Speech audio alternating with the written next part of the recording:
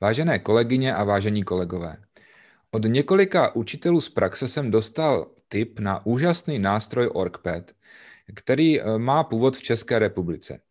Eh, když jsem ten OrgPad začal sám používat, tak jsem zjistil, že mi opravdu jako učiteli hodně vyhovuje, ale přišlo mi na mysl několik otázek. No a mám to velký štěstí, že jsem mohl oslovit přímo jednoho z autorů tohoto úžasného českého nástroje, a který je ochotný na mé otázky odpovídat.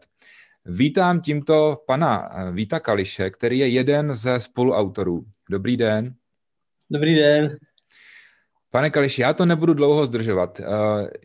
Poprosil bych vás jenom o to, abyste nám na začátek představil, co to vlastně je za nástroj, ten OrgPad, jak se třeba liší od eh, běžných programů pro myšlenkové mapy a potom se podíváme na to, jakým způsobem ho může učitel využít v osobním životě, při přípravě na výuku a jaké úžasné funkce vůbec eh, v tom školství můžeme využít.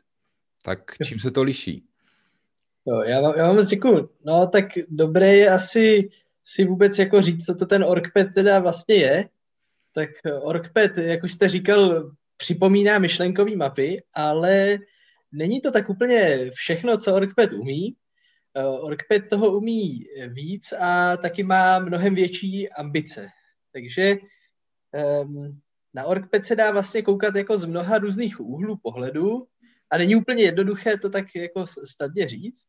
A je, eh, jsou takové dva pohledy, um, které si myslím, že jsou hodně nosné.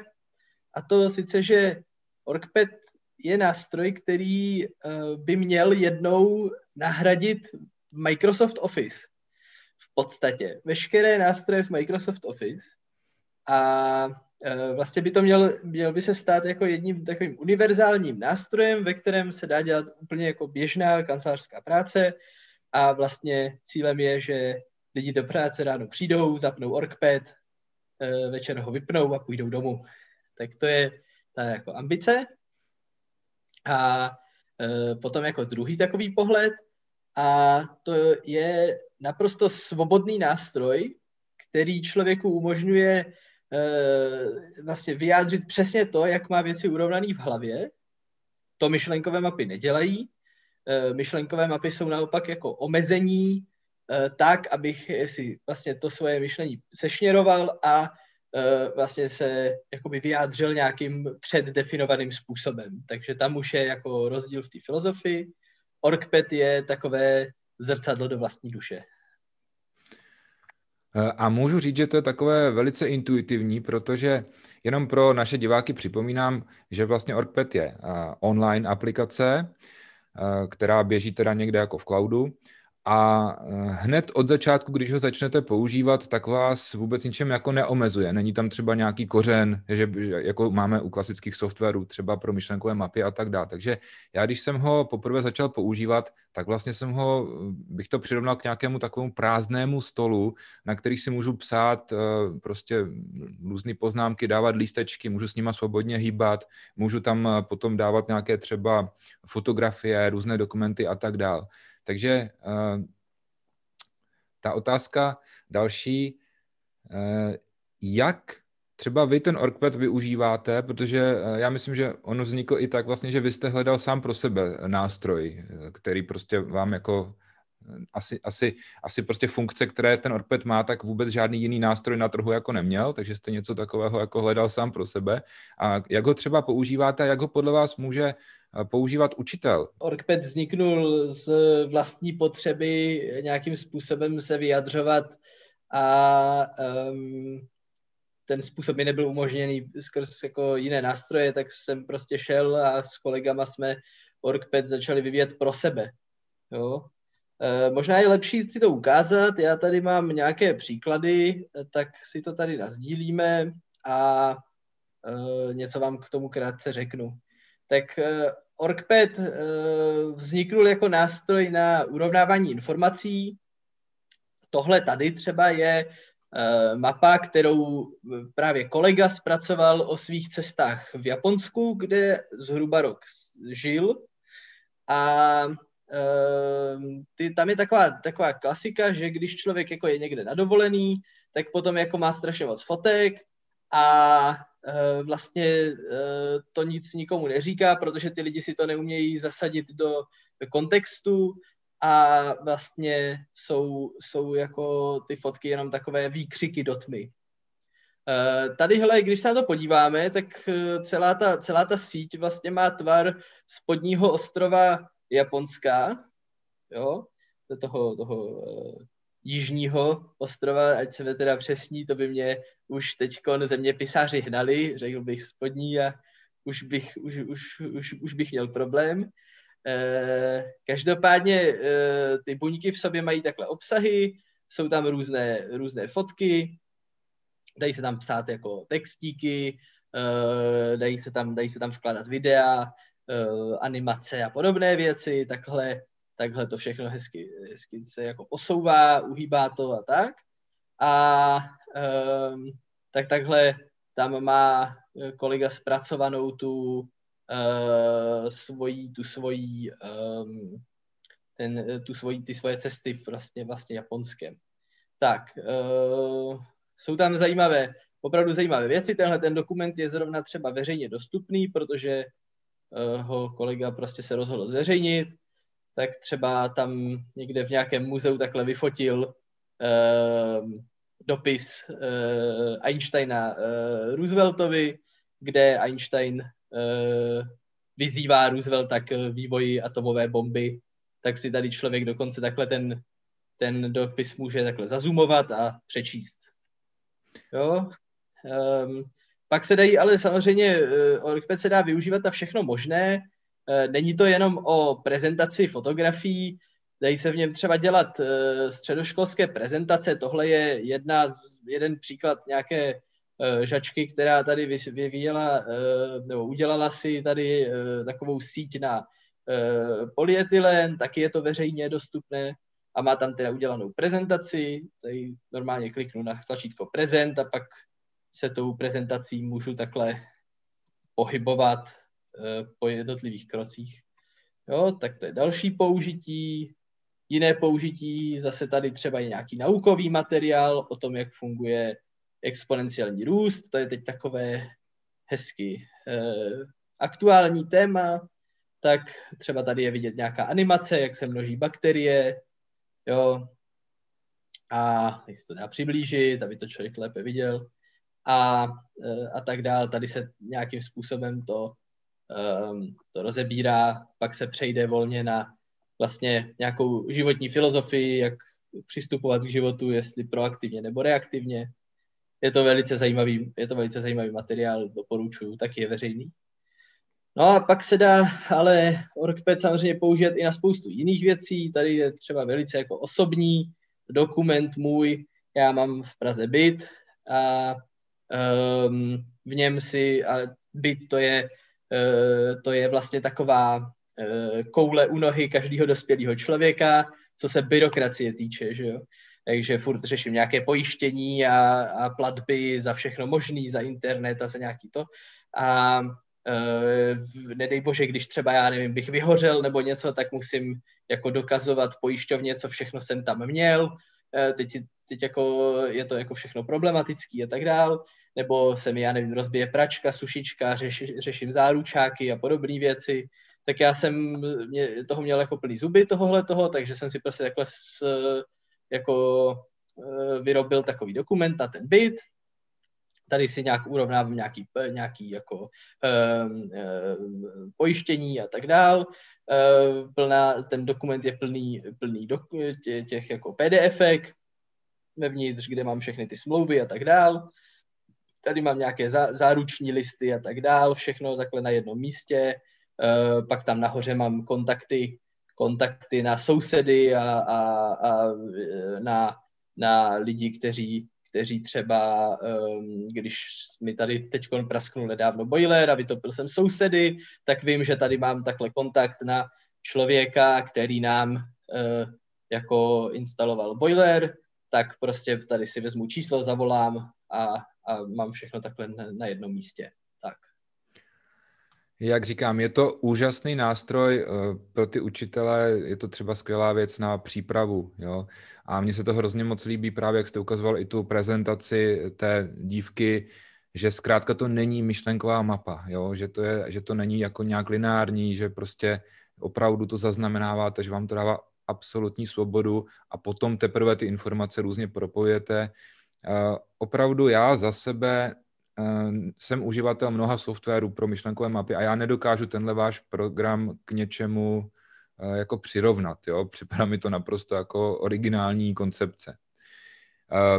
Napadlo mě u toho, Tady to využití je úplně jasné. Napadlo mě, šlo by tenhle ten OrgPad použít jako třeba, mm, možná řeknu odvážnou věc, jako náhradu sešitu, jako školního klasického sešitu, do kterého si třeba děti budou dělat poznámky? Já si dokonce myslím, že nejenom eh, jako jedna ku jedný náhradu, dokonce si myslím, že OrgPad by mohl sloužit jako, jako rozšíření uh, těch sešitů.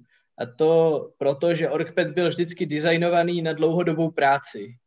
Eh, jedna z jeho, eh, jedna z fundamentálních myšlenek, proč jsme ho šli dělat, bylo, já mám v hlavě nějaké, nějaké, nějaký projekt, nějak, nějaké myšlenky, něco složitějšího, dám si to před sebe a přemýšlím, co s tím dělat dál.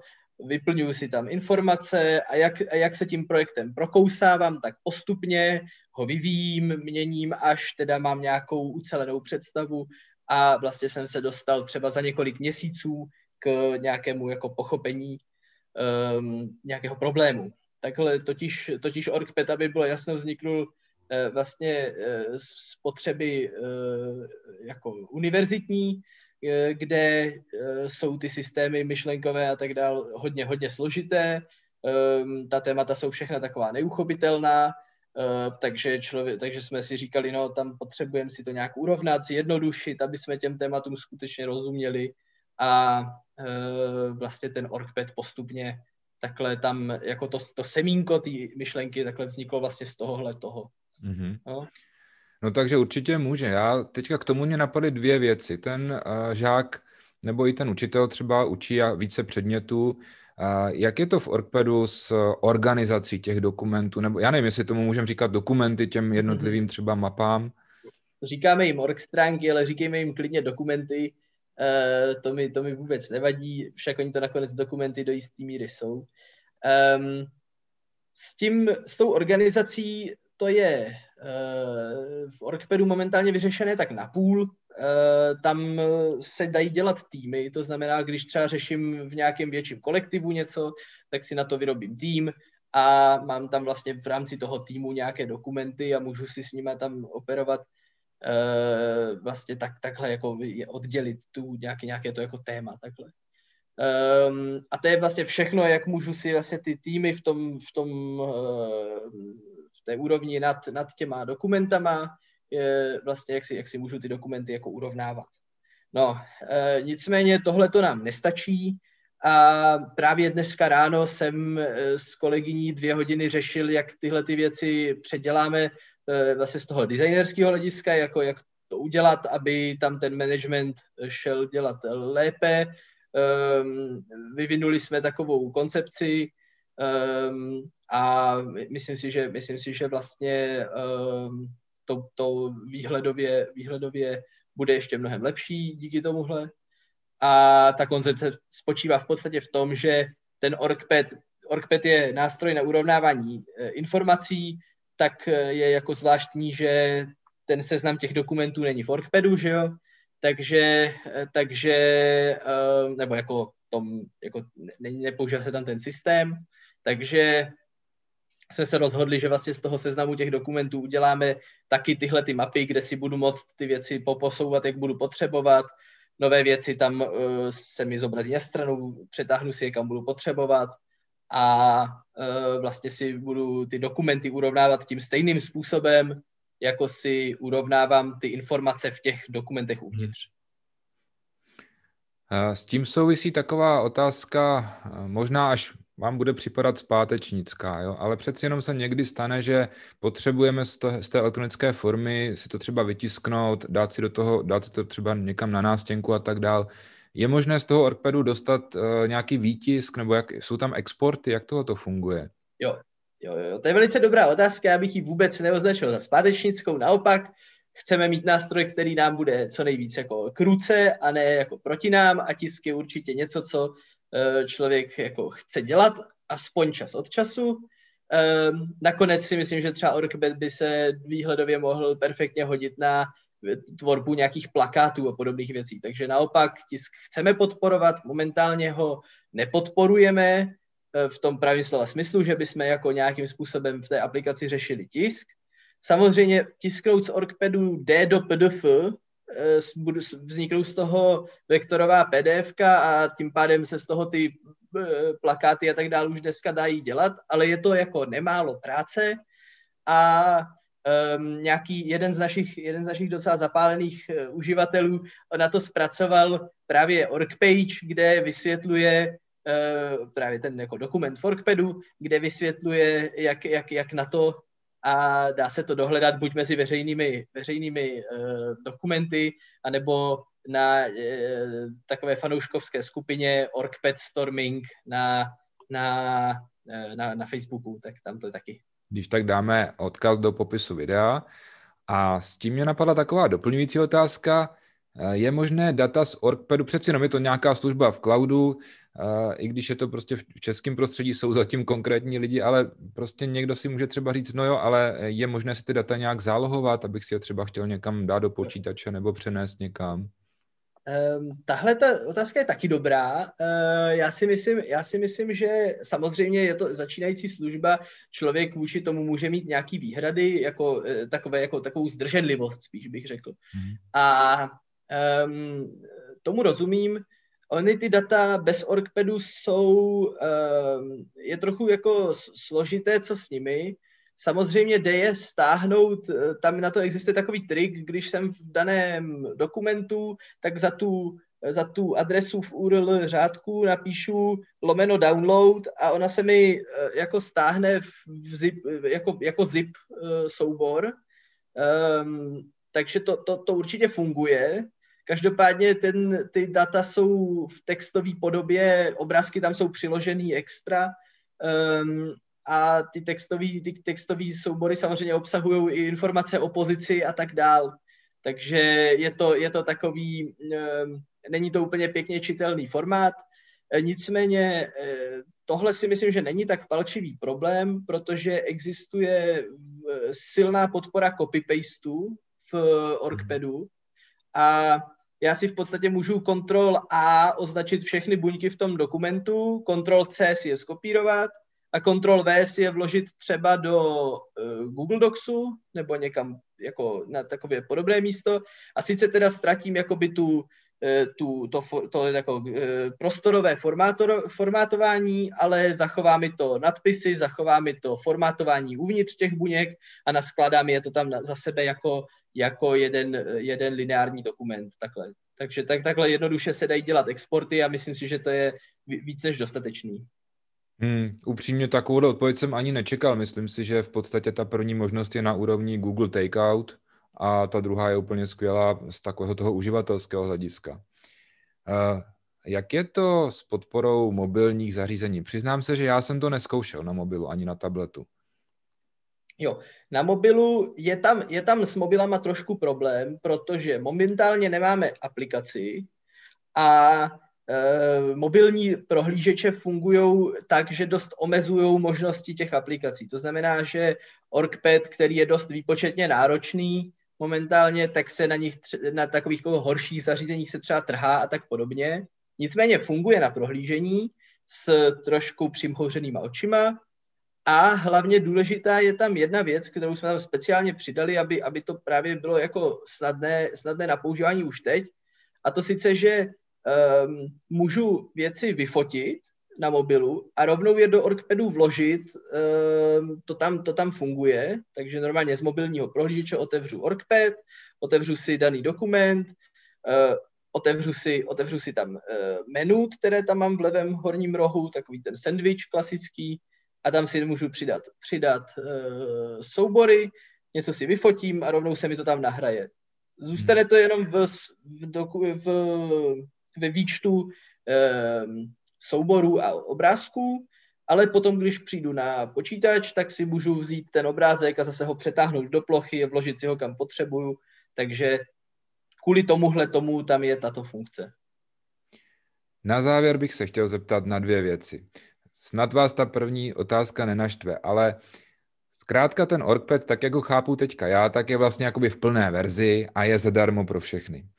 Ale přeci jenom taková ta pochybnost tam je, že určitě to budete chtít do budoucna nějak spoplatnit a e, možná, že může mít někdo obavu, že když to spoplatníte, co se stane s těmi stávajícími účty, s těmi daty, jestli tam plánujete e, nějaké limity nebo jak se jako zachováte? Jo, ten, to je dobrá otázka, děkuji za ní. Uh, já si myslím, že uh, lidi nemusí mít strach, jsme přece jenom lidi z masa a kostí a všichni, kteří mají u nás data, nemusí mít strach, že bychom je nějakým způsobem jako, uh, že bychom jim ty data nějak vzali nebo zamkli a pak chtěli výpalný. To, to určitě nenastane.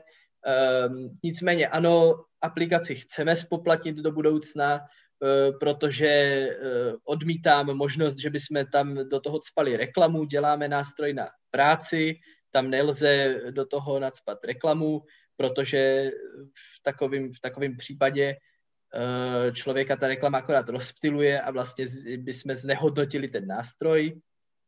A zároveň máme filozofii, že data uživatelů jsou svatá a na ty, na ty v žádném případě nelze šahat. Máme to dokonce v licenčním ujednání. Eh, máme tak benevolentní licenční ujednání. Eh, takové jsem, takové jsem u žádné jiné služby nikdy neviděl, ani uplacené. Ehm, a v tom případě si ale musíme potom třetí možnost zvolit a to sice tu aplikaci spoplatnit. Uh, to spoplatnění přijde někdy v následujícím, já teda my už rok říkáme, že to bude za dva měsíce, um, ale myslím si, že tak někdy do léta, do léta bychom to spoplatnění, by to spoplatnění mělo přijít. Uh, budou tam tři verze, nějaká úplně základní verze, kde teda to bude zadarmo, ale bude to hodně osekané.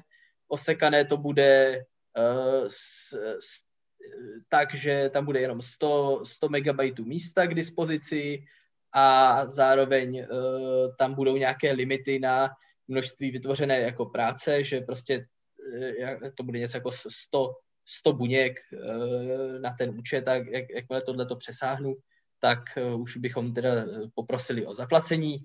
To zaplacení v té standardní verzi bude, uh, budeme chtít uh, 5 eur, ekvivalent 5 eur měsíčně, um, to znamená nějakých 130, 130 korun zhruba, a nebo uh, desetkrát tolik za celý rok, to znamená ne 12krát, ale desetkrát. A potom bude ještě nějaká profesionální verze a tam budeme chtít um, teda 10, ekvivalent 10 eur, 10 eur, uh, 260 korun zhruba za ten, za ten měsíc, potažmo 2600 korun ročně, že jo, těch krát 10 zase. Takže takhle eh, to je ten model, který se budeme zavádět a eh, teď ještě k těm datům těch uživatelů.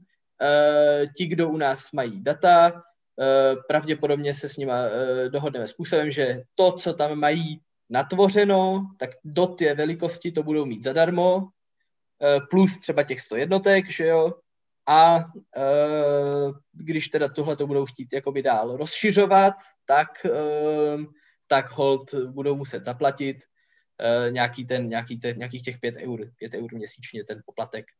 A samozřejmě, když se vejdou do toho, co už si tam natvořili, tak to budou mít zadarmo. Takže mm-hmm. asi tak. No a asi poslední už otázka. Jsou nějaké funkce, na které se můžeme těšit, něco, co plánujete přidat? Já jsem se třeba díval na, když, když jsem úplně s tím začínal, tak mě hrozně potěšilo, že se tam můžu přihlásit se svým uživatelským účtem, co mám na Google. To teda funguje i se školním účtem, ale hodně škol používá třeba Microsoftí účty, tak mě napadlo, jestli třeba tady tuhletu funkcionalitu ne, neplánujete přidat, anebo jestli jsou nějaké novinky, na které se můžeme těšit. Určitě uh, těch věcí je celá řada, ten nástroj je, živelná záležitost, bude se vyvíjet uh, pořád v podstatě a opravdu s ním nejsme hotoví ještě. Um, to, co říkáte s tím přihlašováním, o tom jsme se už bavili minulý uh, pátek, to znamená před dvěma dny, a tak na to jsme si sedli, to jsme teda s Microsoftem vyjednali, nicméně čekáme na potvrzení od Microsoftu, aby, aby to lidem nehlásilo, že spojení je nebezpečné a ne, nedůvěryhodná aplikace, takže musíme ještě tak, věřím tak, že do týdne by nám to teda mohli, mohli snad, snad jako schválit a pak už teda bude možné se přihlašovat i přes ty Microsoftí účty. Um, to je jedna věc, ale uh, to důležité si myslím je v Orkpedu skutečně ta, ta uh, infrastruktura, to jádro a na tom teď děláme razantní změny. Chceme vyměnit editor uh, za úplně nový, vlastní. Uh, od toho si slibujeme v podstatě funkcionalitu ekvivalentní Google Docsu v rámci každé buňky, to znamená, ehm, když tam budu kooperativně spolupracovat s někým, s dalšíma lidma, tak uvidím jejich kurzory, budu tam moct eh, v jedné buňce jako navzájem si jako editovat, klidně obslovo, jo, a tak dál. Eh, to nebude, to nebude problém. Eh, každopádně co teďko, to teďko nefunguje a dokonce to funguje tady v tom směru nepěkně, že když dva lidi se pokusí editovat stejnou buňku, tak si konkurujou, jeden vyhraje a druhému se data zahodí. To je jako ne, hodně nepříjemný. Takže jako ty změny, nemyslím jako celá ta, ta ale ty změny, co tam dělá.